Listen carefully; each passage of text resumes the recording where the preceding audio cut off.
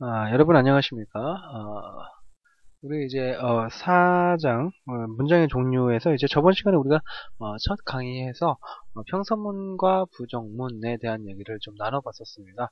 이제 오늘부터 해서 두 강의 강의 두 개를 의문문에 이제 좀 어, 설명을 하는 데 있어서 어, 설명을 하는데 좀 이제 투자를 하게 될 텐데 어, 의문문 파트 1, 파트 2로 나눠서 우리가 보게 될 겁니다. 그래서 오늘 시간은 이제 의문문 파트 1이 될 거거든요. 자, 의문문 종류는 어, 생각보다 굉장히 좀 다양하기 때문에 어, 파트 1, 파트 2로 나눴고요. 어, 이제 파트 1부터 해서 간단하게 어, 가장 기초적인 의문문이 뭔지 요거부터 이제 한번 보고서 어, 넘어가도록 하겠습니다. 자, 그래서 이제 처음으로 의문문에 대한 얘기를 좀 해보자면은 자, 의문문이라는 거 뭐, 여러분 잘 알고 있으, 있으 실 거라고 생각을 하는데, 어, 그 평서문이라는 애가 있고, 부정문이라는 애가 있다라고 얘기를 했었어요. 그죠? 그런데 이 부정문, 어, 평서문에 대해서 부정문이 있다 그러면은, 의문문도 볼 수 있다라고 볼 수가 있다는 얘기예요. 되겠죠? 자, 의문문이라는 애는 말 그대로 의문, 의문이 들어야 되겠죠? 그러니까, 물어보는 의미, 그죠? 물어보는 의미를 가져야지만 의문문이라고 볼 수가 있습니다. 자 거기에 더해서 어, 한 가지 원칙을 더 얘기해 보자면은 어, 의문문이기 때문에 문장이 끝난 다음에 이 문장이 끝난 다음에는 반드시 뭐로 끝나야 된다? 물음표로 끝나야 되는 게 바로 이 의문문의 특징입니다. 아시겠죠? 자 그래서 의문문에 대한 얘기를 좀 해보자면은 형성문에 대해서 의문을 나타내는 문장. 아, 우리 저번 시간에 어, 부정문에 저거 뭐 그 정의했던 거 생각이 나십니까? 어, 부정문이라는 거는 뭐였었죠? 평서문의 부정, 평서문의 뭐뭐 아니다라는 의미를 나타내주는 부정이라고 그랬습니다. 의문문은 말 그대로 뭐 이 평서문의 대해서 의문을 나타내는 애가 바로 이 의문문이라고 할 수 있다는 얘기입니다. 아시겠죠? 자, 이랬을 경우에 원칙 자체는 뭐냐면은 우리가 이제 평서문 했을 때 원칙이 뭐였었죠? 주어 동사의 어순이라는 게 원칙이었었죠. 그죠? 의문문으로 넘어오게 되면은 그거에 반대로 가게 됩니다. 반대. 어떻게 반대? 주어 동사였으니까 반대니까 뭐? 동사 주어 형태로 가게 되겠네요. 자, 그래서 동사 주어의 어순으로 나오게 되면은 그때 평서문에 대해서 의문을 나타내는 문장이 될 수가 있겠다라고 보시면 된다는 얘기입니다. 아시겠죠?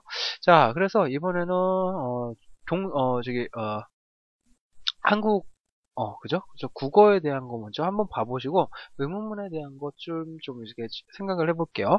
자, 그녀는 행복하다. 얘가 평서문이죠. 그죠? 그녀는 행복하다. 이게 평서문이면은 그녀는 행복하다라는 거에 대해서 의문을 나타내고 싶으면 어떻게 하면 돼요? 그녀는 행복하다. 그녀는 행복해? 라고 얘기해 줘야 되겠죠. 그죠? 그녀는 행복해? 이렇게 말해 줘야 되겠네요. 자, 그래서 그녀는 행복해로 가게 되면은 뭐가 된다? 이때 의문문으로 간다라고 보시면 된다라는 얘기입니다. 이해가 되셨죠? 그 다음 거 또 더 볼게요. 그는 그녀를 좋아한다 라고 했을 때 자, 그는 그녀를 좋아한다 뭐뭐다로 끝났으니까 얘는 어, 평서문이 되겠네요. 이 평서문에 대해서 의문, 어, 의구심에 대한 것들, 그죠? 어, 질문 같은 것들을 나타내주기 위해서 어떻게 하면 돼요? 그는 그녀를 좋아한다. 이거 의문을 나타내주는 그는 그녀를 좋아해? 이렇게 가면 되겠죠. 그죠? 오케이. 그는 그녀를 좋아해. 이렇게 가면 뭐가 된다? 의문이 될 수 있다는 얘기입니다. 오케이. 그 뒤에 똑같이 지금 물음표 붙어줬다라는 거. 오케이. 뭐 대충 이제 아시겠죠? 평서문에서 의문 갈 때 그냥 의문의 그 평서문에 의문의 느낌을 만들어주면 되겠다. 자 그래서 나는 사람이다. 나는 사람일까? 그죠 이렇게 이렇게 만들어줄 수가 있다라는 얘기입니다. 그죠? 요거 똑같이 뭐라는 얘기예요? 지금 우리 한국어에서 본 것처럼 똑같이 영어에서도 똑같이 만들어줄 수 있다는 얘기예요. 자, 그런데 이제 영어는 원칙이 약간 좀 틀리죠. 그죠? 예. 어, 우리 지금 한국어에서는 봐요. 그녀는 행복하다. 그녀는 행복해. 라고 해서 해하고 하다. 요것만 차이가 나죠. 그죠? 맞죠? 그런데 영어에서는 차이가 뭐라는 얘기야? 동사 주어의 자리가 바뀌는 차이가 있을 수가 있다는 얘기예요. 그게 바로 이제 국어와 영어의 그 의문문 변화 방식의 차이가 되겠습니다. 아시겠죠? 자, 그래서 한번 만들어 볼게요. 그녀는 행복하다. She is happy. 자, 그는 그녀를 좋아한다. He likes her. 나는 사람이다. I am human이 되겠네요. 자, 이랬을 경우에 she is happy 요거의 의문문으로 가, 가, 고 싶으면 그녀는 행복하다의 의문문으로 가서 그녀는 행복해 이렇게 가고 싶으면 어떻게 해야 된다? 주어 동사를 동사 주어로 바꿔주면 된다. 오케이. 자, 그래서 동사 주어로 바꿔야 된다. 동사 누구야? 얘죠. 그죠? 그러니까 동사를 앞으로 보내면 되겠네요. 그래서 어떤 형태? 이렇게 she happy가 나왔다는 거 알 수가 있겠죠. 그죠? 이렇게 자리를 바꾸면 되니까요. 자, he likes her. 자, 그는 그녀를 좋아한다. 그죠? 그는 그녀를 좋아한다. 마찬가지로 부정, 아, 부정이래. 그 의문문 하면은 그는 그녀를 좋아해. 이렇게 가겠죠. 그러고 싶으면은 동사 주어로 가야 된다. 자, 그런데 어, 여기서는 이제 이따가 보도록 하겠지만 어, 지금 위에서는 is happy가 is she happy로 바뀌었었지만 밑에 거 같은 경우는 is she happy가 아니라 does, 어, likes he her가 아니라 he like her 형태로 변한다는 거. 이거 대충 왜 그런지 아시겠죠? 우리 저번 시간에 부정문에서 이런 거 해봤었잖아요. 그죠? 왜 그런지 비슷한 거 예제 기억나시죠? 뭐죠? 특수 동사와 일반 동사의 변화 차이는 있다. 그죠? 부정문 할 때 우리 특수동사일 때 어, 부정문 만드는 거하고 일반 동사 부정문 만드는 거하고 틀렸었죠? 마찬가지입니다. 어, 여기서도 지금 is 특수동사죠? like 어, 일반 동사가 될 텐데 이거의 차이 따라서 마찬가지 얘네도 의문문도 똑같이 어, 변화하는 양식이 틀려질 수가 있겠다. 이렇게 보시면 된다는 얘기입니다. 자, I am human. am이 is 그죠? 아, 비동사죠, 비동사. 그러니까 뭐죠? 특수동사네요. 그죠? 그러니까 어떻게 하면 돼? 어, 나는 인간이다, 인간인가? 라는 의미로 갈 때 어떻게? 특수동사니까 어, 그냥 자리만 바꾸면 됩니다. 이해가 되셨나요? 그래서 am I human? 이렇게 가면은 완벽한 문장이 되겠네요. 자, 그래서 원칙은 뭐냐면 부정문과 같습니다. 방금 했던 얘기예요. 특수동사일 경우에는 어떻게? be 더하기 주어. 오케이. 어떻게 했죠? she is happy, is she happy. 주어하고 동사 자리 헛가닥 바뀌어졌죠. 그죠? 어, 조동사가 나왔을 때도 마찬가지입니다. 조동사와 주어의 자리를 헛가닥 바꿔주면 된다라는 거. 그 다음 거 일반 동사일 경우에는 뭐? 우리 일반 동사에서 부정문, 그죠? 부정문에서 일반 동사일 경우 어떻게 했었죠? do, does, did 한 다음에 뭐 붙였었어요? not 붙였었죠? 그죠? 마찬가지입니다. 얘도 do, does, did라는 애를 만들어 놓고 그렇게 그 다음에 어떻게 한다라는 얘기야? 주어와 자리를 바꾼다. 그죠? 위에서 특수동사일 경우에 어, be와 조동사가 주어와 자리를 바꾼 것처럼 일반 동사도 자리를 바꾸긴 바꾸는데 어떻게 해놓고 바꾼다? 일반 동사 앞에다가 do를 만들어 놓고 그 do와 주어를 바꾼다. 이렇게 보시면 된다는 얘기입니다. 이해가 되셨나요? 이렇게 자, 우리 그 어, 부정문에 대한 거랑 같이 보시면은 별로 그렇게 어려운 얘기가 아닐 것 같습니다. 자, 그 다음에 어, 이제 그 제대로 어, 의문문 형태에서 이 동사들이 어떤 애들이 나올 경우에마다 어, 문장 자체가 틀려지는지 한번 봐보도록 할 텐데요. 자, 특수동사일 경우 한번 봐볼게요. 특수동사일 경우에는요, 아까 얘기를 했었습니다. be 더하기 주어, 그 다음에 조동사 더하기 주어, 그죠? 이렇게 동사 더하기 주어 형태로 자리가 주어와 동사의 자리가 아, 바뀐다라고 얘기를 했었으니까요, 그죠? 이렇게 어, be 주어, 조동사, 주어 형태로 나오게 된다라는 거. 자, 그래서 어, 그 형태로 나왔을 경우에 보통은 요거 한번 봐보세요. 비동사가 나왔을 때 이 형식일 경우를 지금 얘기하고 있습니다. 비동사가 나왔을 때 이 형식이 보통 나오겠죠. 그죠? 비동사 뒤에는 보어니까. 그랬을 경우에 보통은 S, B, C. 그죠? 비동사 나오고 B 다음에 보어. 이렇게 나오겠죠. 그죠? 그게 의문문으로 가면 어떻게 바뀐다는 얘기야.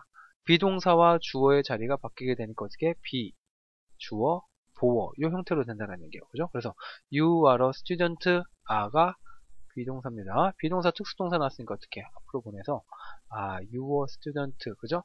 be 주어 보어 그죠? be 주어 보어 이렇게 지금 나왔네요. 그죠? 이렇게, 쓰일 수 있다는 얘기야. 그 다음 거 I am happy 마찬가지로 주어 동사 보어입니다. 아, 보어가 아, 동사가 비동사가 나왔으니까 마찬가지로 어떻게 앞으로 나가야 되겠죠. 그죠? 앞으로 나가야 된다. 자, 그러니까 어떻게 am I happy 형태로 되니까 am 비동사가 될 거고요. I 주어가 될 거고요. 그죠? happy 보어가 되겠네요. 이 형태로 사용되는 게 아, 옳겠다. 그죠? 이렇게 비동사가 나오면은 이 형태로 쓰이게 되는 거, 어, 쓰이게 되는 겁니다. 비동사 플러스 주어 플러스 보어. 오케이. 자, 그 다음 거. 조동사는 조동사는 그 뒤에 뭐 보어가 나오고 이런 게 아니죠. 우선 이렇게만 보시면 돼요. 주어가 나오고 조동사, 조동사라는 애는 반드시 그 뒤에다 누가 나와야 되면 R은 동사 원형을 나타내요. 그죠? 동사 원형을 나타냅니다. 동사 원형. 이 동사 원형이 반드시 조동사 앞에서 어, 조동사가 앞에서 사용돼야지 동사 원형이 쓰일 수 있는 겁니다. 자, 어쨌든 간에 중요한 것 자체는 어, 중요한 것 자체는 어, 조동사가 나오면 주어와 조동사 자리를 바꿔준다 그랬으니까 이 형태가 나왔을 때 조동사와 주어의 자리가 바뀌어서 어떻게 조동사 주어 동사 원형으로 쓰이는 게 원칙이라는 얘기예요. 이해가 되셨나요? 다시 조동사 뒤에는 어, 간단하게 얘기를 했었는데요. 책에서도 나왔지만 조동사 뒤에는 반드시 동사 원형만 나올 수가 있어요. can 다음에 동사 원형만 나올 수 있다는 얘기예요. 그죠? 그럴 수가 있는데 그거 어, 그러한 원칙 때문에 그런지 몰라도 조동 의문문에서는 조동사와 주어가 자리가 바뀌면은 어, 이렇게 조동사 주어 동사 원형 형태로 나와줘야 되는 게 맞다는 얘기예요. 자 그래서 you will go to school 형태가 나왔을 때 will이라는 애가 조동사죠. 그랬을 경우에 의문문 너는 학교에 갈 것이다를 바꾸면 너는 학교에 갈 것이냐 이렇게 가겠죠. 그죠? 그랬을 경우에 will이라는 애가 문장 맨 앞에 주어 앞으로 지금 나오게 되는 거고요. 그랬을 경우에 원래 will 뒤에는 동사 원형 고가 쓰였었으니까 주어 바로 다음에 고라는 동사 원형이 바로 나오는 이 형태로 써주는 게 옳다는 얘기입니다. 이해가 됐죠?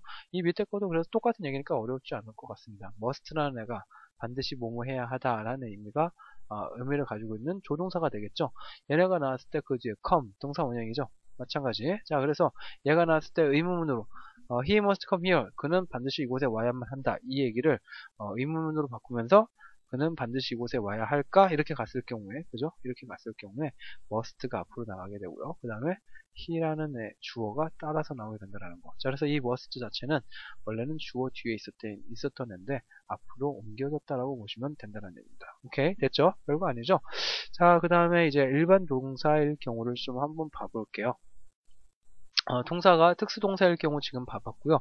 어, 조동사, 비동사에 대한 거 봐봤고 일반 동사일 경우 어, 마찬가지가 되겠죠. 어, 그 플러스 우리 부정문에서 봤었던 그 원칙에 따라서 한번 봐볼게요. 1번 첫 번째 두를 동사 앞에 놓는다. 부정문에 썼던 거랑 똑같죠. 동사 앞에다가 두 놓기요. 그 다음에 두 뒤에는 반드시 동사 원형이라고 어, 부정문에서도 얘기를 했었습니다. 두, 두 뒤에는 반드시 동사 원형이에요. 자, 그렇기 때문에 어, 부정형에서 봤, 우리 부정문에서 봤었던 것처럼 두 고주라는 말은 존재하지 않고요.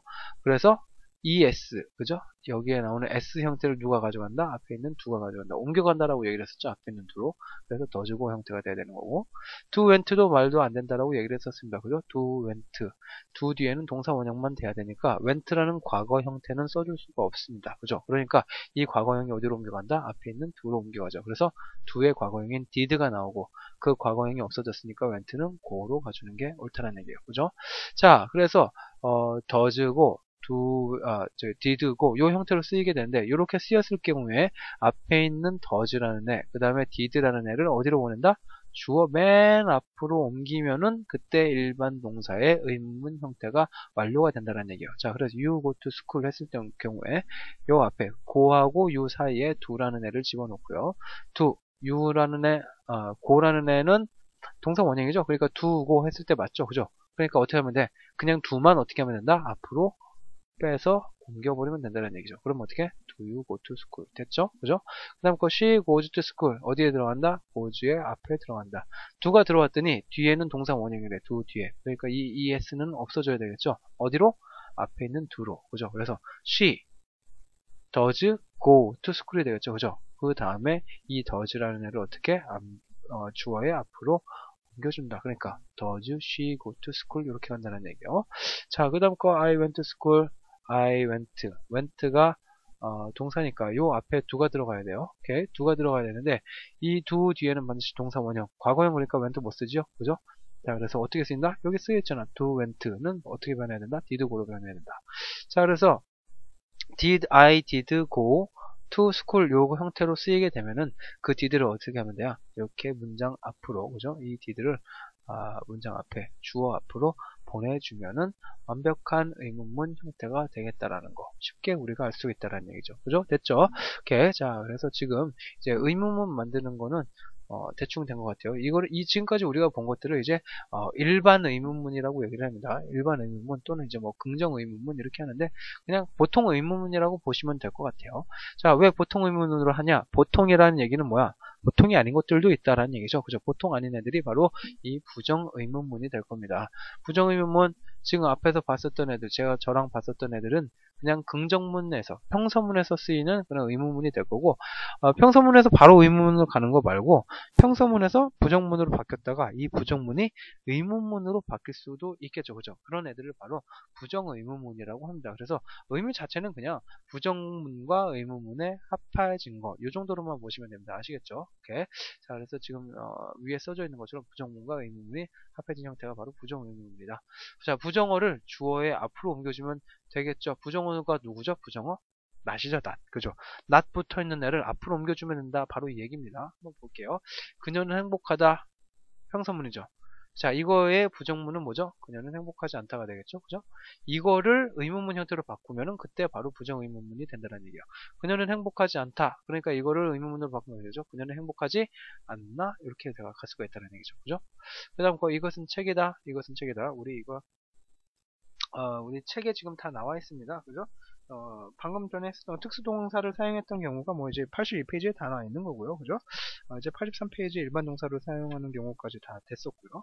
이제 일반 의문문 그래서 정리가 대충 다 됐었고, 어, 84페이지, 85페이지까지 그래서 뭐 85페이지까지 다 된 겁니다. 그래서 86페이지 지금 이제 부정 의문문에 대한 얘기를 하는데, 아, 부정 의문문이 나왔을 때, 지금 뭐 이것은 책이 아닙니까에 대한 얘기를 지금 해주고 있는데요. 이것은 책이다. 평서문 먼저 보셔야 된다는 얘기요. 평서문 이것은 책이다 나왔고요. 이것은 책이 아니다가 바로 부정문이 되겠죠. 그죠? 자, 평서문의 부정문. 이것을 다시 의문문으로 바꿔주면 뭐가 된다? 부정의문문. 자, 그래서 이것은 책이 아니다. 이거의 의문문이니까 어떻게? 이것은 책이 아닌가? 이렇게 갈 수 있다는 얘기죠. 그죠? 자, 요거를 이제 영작을 해보면은 she is happy. 그녀가 행복하다죠. 행복하지 않으니까 어떻게? 특수동사 이즈 나왔으니까 어떻게? 난만 붙이면 되죠. 그래서 she is happy가 되겠죠. 이랬을 경우에 어떻게? 부정어를 주어에 앞으로 옮겨주면 된다라며. 그죠? 그러니까 누구야? 부정어는 누구야? isn't죠? 이렇게 됐을 때 isn't를 앞으로 옮겨주면 뭐가 된다? 부정 의문문이 된다는 얘기예요. 그래서 isn't she happy? 이렇게 써주면 부정 의문문이 되는 거죠. 자, 그 다음 거 this is a book 했을 때 is가 지금 나와 있는데요. 있는데요. 자, 이랬을 경우에 이것은 책이다 했으니까 이것은 책이다의 어, 부정어 했으니까 이것은 책이 아니다로 가야 되겠죠. 그죠? 이것은 책이 아니다. 자, 이랬을 때 이것은 책이 아니다 해서 부정어를 문장 앞으로 보내주면은 당연히 부정어는 앞으로 가게 됨으로써 의문문이 된다. 그래서 부정 의문문이 된다라고 했습니다. 바, 로 위에 거랑 똑같죠?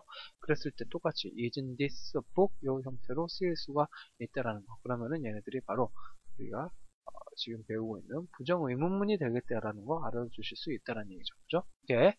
자, 부정 의문문의 대답. 자, 우리가 이제 어, 부정 의문문은 지금 86페이지에 좀 짧게 나와 있긴 한데 어, 그렇게 쉽게 그냥 간단하게 하고서 지, 저, 지나가기는 좀 어렵습니다. 왜냐면 좀 자주 나오고, 나오는 편이거든요. 어쨌든 간에 지금 부정 의문문 만드는 거는 대충 알아봤으니까 부정 의문문의 대답에 대한 얘기를 봐야 될 텐데 부정 의문문 대답 좀 어렵게 생각하실 필요 없고요. 어떻게 생각하시면 되냐면은 어, 부정 의문문 일반 의문문과는 반대의 의미를 가진다. 요것만 알아두시면 돼요. 일반 의문문 한번 봐볼까요? Do you like milk? 이렇게 했을 경우에 그죠? 너는 우유를 좋아하니? 했을 때 어, 좋아하면 어떻게 하죠? 좋아하면은 yes 하고 싫어하면은 no 하죠. 그죠? 그래서 yes I do 하면은 좋아한다는 뜻이고요. no I don't 하면 좋아하지 않는다라는 일반 의문에서는 그렇게 쓰였습니다. 자, 그런데 아까 제가 방금 전에 얘기했었죠. 일반 의문문과는 반대 의미를 가지는 게 뭐다? 부정 의문문의 대답이란 얘기예요. 자, 그러니까 한마디로 부정 의문문으로 물어보면 뭐야? 거꾸로 일반 의문문과 반대로 간다는 얘기예요. Don't you like milk? 뭐죠? 평서문은 뭐지? You like milk가 되겠죠. 그죠? you like milk가 평서문, you like milk에서 어, 부정형으로 가니까 you don't like milk가 되겠죠. 그죠? 그 다음에 이 부정어를 문, 어, 주어 앞으로 빼줘서 어떻게? don't you like milk가 된다는 얘기예요. 의미상으로는 do you like milk는 너는 우유 좋아해? 이게 될 거고요. don't you like milk는 너는 우유를 안 좋아하니? 이렇게 간다는 얘기예요. 자, 이랬을 경우에 일반 의문문은 어, 그냥 yes는 좋아한다, no는 좋아하지 않는다라는 얘기인데 부정의문문에선 좋아하지 않아 이렇게 갔을 경우에는 yes는 좋아하지, 응 좋아하지 않나, 않나 이런 얘기가 되는 거고 no는 반대로 또 좋아한다는 의미가 된다라고 알아주셔야 된다는 얘기예요. 왜 그럴까? 의, 물어보는 의미 때문에 그렇죠. 그죠? 왜 그럴까? 아, 물어보는 의미 때문에 그런 겁니다. 일반 의문문에서는 너 좋아하냐? 라고 지금 물어보고 있죠. 그죠? 그러니까 좋아하면은 응, 좋아하지 않으면 아니 이렇게 하면 되는 반면에 부정의문문은 너 안 좋아하냐? 라고 물어보고 있잖아요. 그죠? 너 안 좋아하냐? 라고 물어보고 있잖아요. 그죠? 그랬을 경우에 응 하면 어떻게 되죠? 응, 안 좋아하냐? 응 하면 뭐죠? 안 좋아한다는 뜻이죠. 그죠? 그러니까 yes가 나오면은 좋아하지 않는다라는 의미가 된다는 얘기죠. 맞나요? 오케이. 자, 그 다음 거 don't you like milk에서 너는 밀크 안 좋아하지 냐 너는 우유 안 좋아하냐? 했을 때 여러분들이 좋아할 수도 있을 거 아니야. 그죠? 너는 우유 안 좋아해? 라고 얘기했을 때 좋아해 라고 얘기하고 싶으면 어떻게 해야 돼요? 아니 좋아해 라는 의미가 나와야 된다는 얘기예요. 그죠? 자, 어, 그렇기 때문에 아니 라고 했을 경우에 그죠? 아니, no 너 우유 좋아하지 않아? 했을 때 아니 라고 했으면은 좋아한다 라는 의미가 된다는 얘기야. 아니 라고 했으니까 그죠? 안 좋아하냐? 라고 물어봤으니까 아니, no 했으니까 당연히 무슨 얘기야? 좋아한다는 얘기가 된다는 얘기예요. 이해가 됐죠?